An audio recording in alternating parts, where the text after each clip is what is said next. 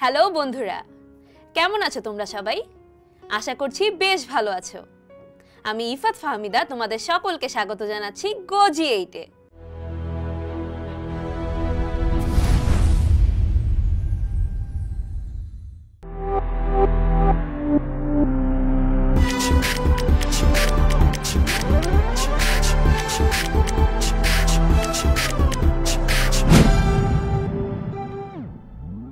বন্ধুরা, আজকে আমরা আলোচনা করব একাদশ দ্বাদশ শ্রেণির আইসিটি বিষয়ের তৃতীয় অধ্যায়, অর্থাৎ সংখ্যা পদ্ধতির ধারণা ও ডিজিটাল ডিভাইসের ষষ্ঠ অংশ নিয়ে।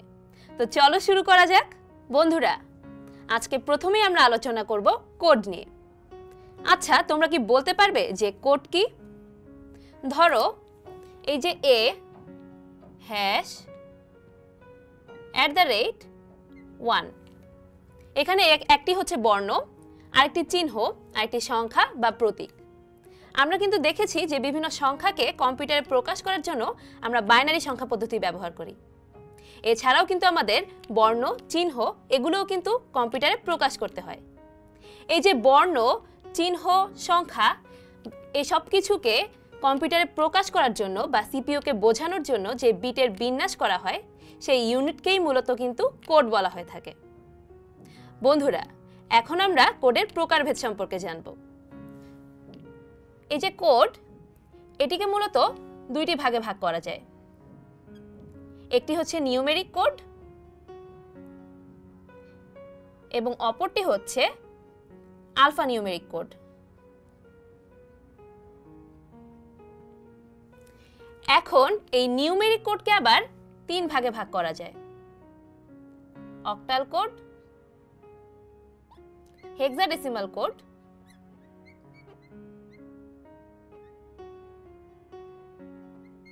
এবং সর্বশেষে রয়েছে বিসিডি কোড আর এই বিসিডির ফুল ফর্ম হচ্ছে বাইনারি কোডেড ডেসিমাল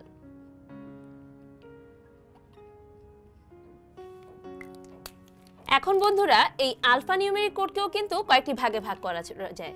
প্রথমেই রয়েছে আস্কি কোড। আর এই আস্কির ফুল ফর্ম হচ্ছে American standard code for information interchange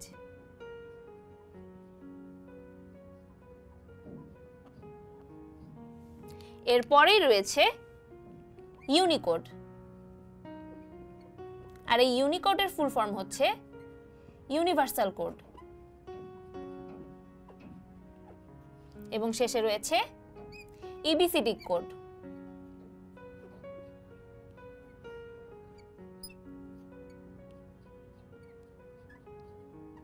আর এর ফুল ফর্ম হচ্ছে extended binary coded decimal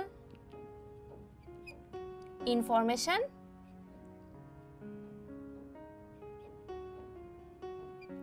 code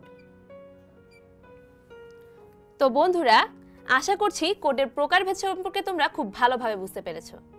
বন্ধুরা, এতক্ষণ তো আমরা কোডের প্রকারভেদ সম্পর্কে জানলাম। তো চলো প্রথমেই আমরা জেনে আসি অক্টাল কোড সম্পর্কে। তোমরা কিন্তু এতদিন অক্টাল সংখ্যা পদ্ধতি সম্পর্কে জেনেছ। আর এই অক্টাল সংখ্যা পদ্ধতির সংখ্যাগুলোকে কম্পিউটারকে প্রকাশ করার জন্য যে কোড ব্যবহার করা হয় সেটি কিন্তু মূলত octal code.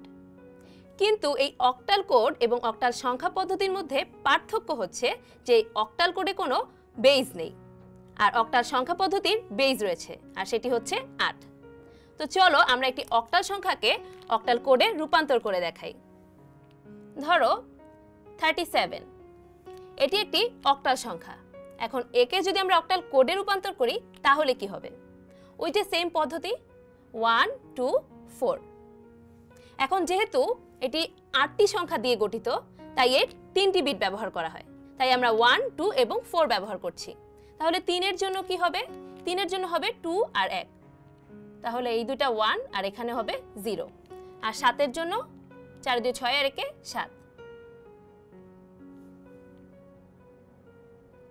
Zero one one one one one তাহলে এটাকে আমরা কি লিখতে পারি? Zero one one one one one তবে তোমাদেরকে খেয়াল রাখতে হবে, তোমরা যেন এখানে কোনো বেস ব্যবহার না করো। তো বন্ধুরা, আশা করছি অক্টাল সংখ্যা পদ্ধতি সম্পর্কে তোমরা বুঝতে পেরেছ এবং অক্টাল সংখ্যা পদ্ধতিকে কীভাবে অক্টাল কোডে রূপান্তর করতে হয় তাও বুঝতে পেরেছ। চলো, এখন আমরা দেখে আসি হেক্সাডেসিমাল কোড নিয়ে।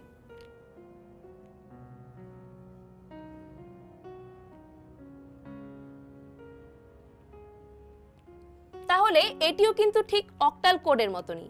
অর্থাৎ হেক্সাডেসিমাল সংখ্যাকে কোডে রূপান্তর করার জন্য যে পদ্ধতি ব্যবহার করা হয়, সেটি কিন্তু হেক্সাডেসিমাল কোড এখন চলো আমরা দেখে আসি যে কীভাবে একটি হেক্সাডেসিমাল সংখ্যাকে হেক্সাডেসিমাল কোডে রূপান্তর করা যায়। এখন হেক্সাডেসিমাল সংখ্যা পদ্ধতিতে যেহেতু ষোলোটি সংখ্যা রয়েছে, তাই এখানে চারটি বিট ব্যবহার করা হবে। অর্থাৎ ওয়ান টু ফোর এইট তাহলে থ্রি এর জন্য কি হয়? টু আর ওয়ান ইউজ হবে। আর সেভেনের জন্য এই তিনটা ইউজ হবে। তাহলে আমরা এটা কীভাবে লিখতে পারি? Zero zero one one zero one one one অর্থাৎ zero zero one one zero one one one তবে সেমভাবে তোমরা খেয়াল রাখবে যে এখানে যেন আমরা এই সিক্সটিন বেসটি ব্যবহার না করি। তো আশা করছি তোমরা এই হেক্সাডেসিমাল কোডও খুব ভালোভাবে বুঝতে পেরেছ। বন্ধুরা, এখন আমরা আলোচনা করব বিসিডি বা বাইনারি কোডের ডেসিমাল এই সম্পর্কে। মূলত বাইনারি সংখ্যাগুলোকে আমরা কিন্তু খুব সহজেই কম্পিউটারে প্রকাশ করতে পারি। কিন্তু ডেসিমাল সংখ্যার ক্ষেত্রে কি হবে? এই ডেসিমাল সংখ্যাকে কম্পিউটারে প্রকাশ করার জন্য যেই কোড ব্যবহার করা হয়, তাকেই কিন্তু বিসিডি বা বাইনারি কোডের ডেসিমাল বলা হয়ে থাকে। এতক্ষণ আমরা দেখেছি যে যখন সংখ্যা পদ্ধতি হচ্ছে আটটি, তখন আমরা তিন ব্যবহার করি। আর যখন সংখ্যা হচ্ছে ষোলোটি, তখন আমরা চারটি বিট ব্যবহার করি। কিন্তু বন্ধুরা, আমাদের এই ডেসিমালে সংখ্যা হচ্ছে দশটি। এই ক্ষেত্রে কি হবে? যেহেতু ডেসিমালে দশটি সংখ্যা, তাই আমরা কিন্তু তিন বিট দিয়ে প্রকাশ করতে পারি না। আমাদের এক্সট্রা আরেকটি বিটের প্রয়োজন হয়। তাই আমরা এই দশটি সংখ্যাকে প্রকাশ করার জন্য চার বিট ব্যবহার করি। আর এ কারণেই কিন্তু এই বিসিডির বিভিন্ন ধরন রয়েছে।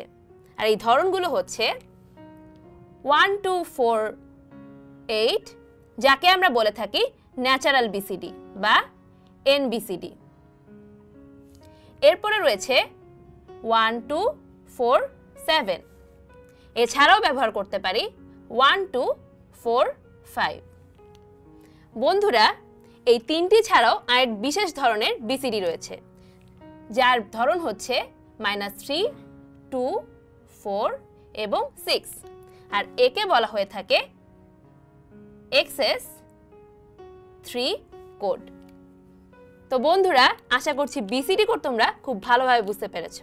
তো চলো এখন একটি বিসিডি কোডের রূপান্তর দেখে আসি। ধরো ওয়ান এটি একটি ডেসিমাল সংখ্যা। এখন আমরা যদি একে ন্যাচারাল বিসিডি রূপান্তর করি, তাহলে কি হবে? ওয়ান টু ফোর এইট ওয়ানের জন্য হবে one zero zero zero one zero zero, one. নাইনের জন্য কি হবে? ওয়ান আর ওয়ান, জিরো জিরো। আর থ্রি এর জন্য ওয়ান ওয়ান, জিরো জিরো। তাহলে আমরা নাইনের জন্য লিখতে পারি ওয়ান, জিরো জিরো, ওয়ান। আর থ্রি এর জন্য হচ্ছে জিরো জিরো, ওয়ান ওয়ান। এখন ফুল সংখ্যা যদি একসাথে লিখি, zero zero zero, one. One, zero zero, one. Zero zero, one one. আর এখন যদি আমরা একে এক্সএস থ্রিতে রূপান্তর করি, তাহলে কি হবে? এক্সএস থ্রিতে রূপান্তর করার জন্য দেখো ওয়ানের জন্য আমরা কি করতে পারি? এই যে ফোর থেকে যদি মাইনাস থ্রি করি, তাহলে আমরা ওয়ান পাবো। আর নাইনের জন্য কি হবে? দেখো, এখানে হচ্ছে সিক্স আছে, ছয় আর দুয়ে হচ্ছে আট, আর চারে বারো বারো থেকে যদি আমি তিন মাইনাস করি, তাহলে আমি পাই নয়। তাহলে আমার এই চারটি বিটি ব্যবহার করতে হবে। আর তিনের জন্য কি হবে? তিনের জন্য সিক্স থেকে যদি আমি মাইনাস থ্রি বিয়োগ করি, তাহলে পাবো হচ্ছে থ্রি এখন আমরা যদি এটিকে এক্সএস থ্রিতে রূপান্তর করে লিখি, তাহলে ওয়ানের জন্য আমরা পাচ্ছি জিরো ওয়ান জিরো ওয়ান নাইনের জন্য ওয়ান ওয়ান ওয়ান ওয়ান আর থ্রি এর জন্য ওয়ান জিরো জিরো ওয়ান অর্থাৎ এই কোডটি তো আশা করছি তোমরা বিসিডি কোডের রূপান্তর বুঝতে পেরেছ। তো চলো, এখন আমরা বিসিডি এবং বাইনারি সংখ্যার মধ্যে কিছু পার্থক্য দেখে আসি। বন্ধুরা, এই সংখ্যাগুলো দেখলেও কিন্তু অনেকটা বাইনারি সংখ্যার মতো মনে হয়, কিন্তু এটি মূলত বাইনারি সংখ্যা নয়। বিসিডি এবং বাইনারি সংখ্যার মধ্যে সবচেয়ে মূল পার্থক্য হচ্ছে, এই বিসিডি সংখ্যাকে কোনো একটি কোডের জন্য ব্যবহার করা হয়ে থাকে, আর বাইনারি হচ্ছে একটি সংখ্যা পদ্ধতি। এছাড়াও বিসিডি কোডকে রূপান্তর করা খুবই সহজ। কিন্তু বাইনারি সংখ্যা পদ্ধতিতে রূপান্তর করা সহজ নয়। আর তৃতীয় যে পার্থক্যটি রয়েছে, সেটি হচ্ছে আমরা এই বিসিডি এর জন্য চারটি বিট ব্যবহার করে থাকি। আর বাইনারি সংখ্যার জন্য কিন্তু চার বিট ব্যবহার করা হয় না।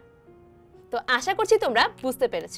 বন্ধুরা, এখন আমরা আলফা নিউমেরিক কোড সম্পর্কে জানব। এরও কিন্তু কিছু প্রকারভেদ রয়েছে, যা সম্পর্কে আমরা একটু আগেই জেনেছি। এখন ধরো, কম্পিউটার কিন্তু আমরা ওয়ান টু থ্রি এই সংখ্যাগুলোই কিন্তু ব্যবহার করি না। আমাদেরকে বিভিন্ন চিহ্ন, বিভিন্ন বর্ণ এগুলো ব্যবহার করতে হয়। আর এই চিহ্ন এবং বর্ণগুলোকে কম্পিউটারের ভাষায় প্রকাশ করার জন্যই আলফা নিউমেরিক কোড ব্যবহার করা হয়। বন্ধুরা, এই আলফা নিউমেরিক কোডের মধ্যে প্রথমেই রয়েছে ইউনিকোড। আর ইউনিকোডের ফুল ফর্ম হচ্ছে ইউনিভার্সাল কোড। অর্থাৎ পৃথিবীব্যাপী সব ধরনের ভাষা কিন্তু ব্যবহার করা যায় এই ইউনিকোড দিয়ে। এছাড়াও উনিশশো একানব্বই সালে বাংলা সহ প্রায় চব্বিশটি ভাষা নিয়ে এই ইউনিকোডের প্রথম সংস্করণ শুরু হয়। পরবর্তীতে দু হাজার বিশ সালে ইউনিকোডের তেরোতম সংস্করণ হয়, যেখানে প্রায় একশো ভাষা সংযুক্ত করা হয়েছে। বন্ধুরা মিশরীয় হ্যারোলোগ্রাফিক ভাষা থেকে শুরু করে আমরা বর্তমানে যে ইমোজি ব্যবহার করি, সে সব কিছুই কিন্তু ইউনিকোডের আওতাভুক্ত করা হয়েছে। এই প্রতিটি ভাষার জন্যই ইউনিকোডে চারটি বাইট রয়েছে। অর্থাৎ পঁয়ষট্টি হাজার পাঁচশো ছত্রিশটি স্থান রয়েছে। এখন এই ইউনিকোডকে বাইট প্রক্রিয়ায় রূপান্তর করার জন্য কিছু পদ্ধতি রয়েছে। যেমন ইউটিএফ এইট, ইউটিএফ সিক্সটিন বিভিন্ন। এখন ইউটিউব ইউটিএফ এর ফুল ফর্ম হচ্ছে ইউনিকোড ট্রান্সফরমেশন ফরম্যাট আর এর মাধ্যমে কিন্তু আমরা বাইটে রূপান্তর করতে পারি। বন্ধুরা, মূলত ইউটিএফ এইটকেই স্ট্যান্ডার্ড ধরে ব্যবহার করা হয়ে থাকে। আশা করছি ইউনিকোড সম্পর্কে তোমাদের একটি ভালো ধারণা হয়েছে। চলো, এখন আমরা জেনে নেই অ্যাসকি কোড সম্পর্কে। এই অ্যাসকি কোড হচ্ছে মূলত সাত বিটের একটি আলফা নিউমেরিক কোড এখানে একশো আশি, আটাশটি চিহ্ন প্রকাশ করা হয়ে থাকে। আর এর মধ্যে প্রথম বত্রিশটি যে কোড রয়েছে, এই বত্রিশটি কোড মূলত যান্ত্রিক নিয়ন্ত্রণের জন্য ব্যবহার করা হয়ে থাকে। আর পরবর্তী যে ছিয়ানব্বইটি কোড রয়েছে, সেগুলো বিভিন্ন বর্ণ, চিহ্ন, অঙ্ক অঙ্ক, প্রতীক ইত্যাদি ব্যবহারের জন্য করা হয়ে থাকে। আর এখন কিন্তু এই অ্যাসকি কোডের একটি নতুন ভার্সন রয়েছে, যাকে এক্সটেন্ডেড অ্যাসকি বলা হয়ে থাকে। এখানে সাত বিটের সাথে আরও একটি বিট যোগ করে আরও একশো আটাশটি চিহ্ন ব্যবহার করা যায়। তবে মূলত এই সাত বিটের অ্যাসকি কোডই স্ট্যান্ডার্ড হিসেবে ধরা হয়ে থাকে। তো আশা করছি অ্যাসকি কোড সম্পর্কেও তোমাদের একটি ভালো ধারণা হয়েছে। বন্ধুরা, এখন আমরা আলোচনা করব ইবিসিডি কোড নিয়ে।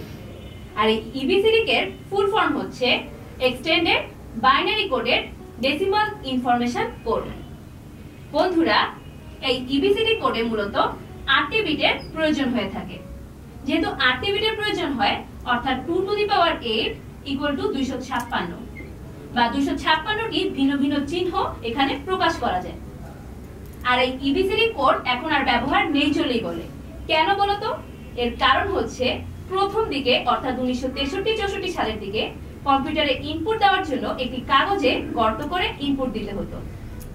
এখন কম্পিউটারে ইনপুট দেওয়ার এই ধরনের কোনো জটিলতা নেই। তাই ইবিসিডি কোডও তেমন একটা ব্যবহার না করলেই হয়।